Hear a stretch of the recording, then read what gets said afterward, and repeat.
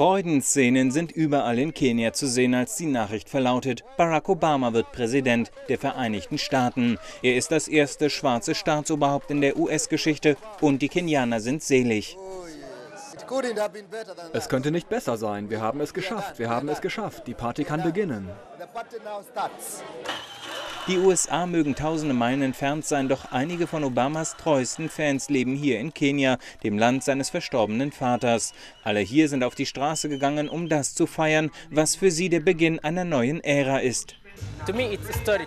Für mich ist das ein historischer Moment. Wir hätten uns nie träumen lassen, dass eines Tages ein Schwarzer die Wahl gewinnen und Präsident der Vereinigten Staaten werden könnte. Ich liebe ihn einfach. Obama, dessen Stiefgroßmutter in einem kleinen kenianischen Dorf lebt, ist eine Inspiration für die Menschen hier. Sie haben sogar einen Song für ihn geschrieben.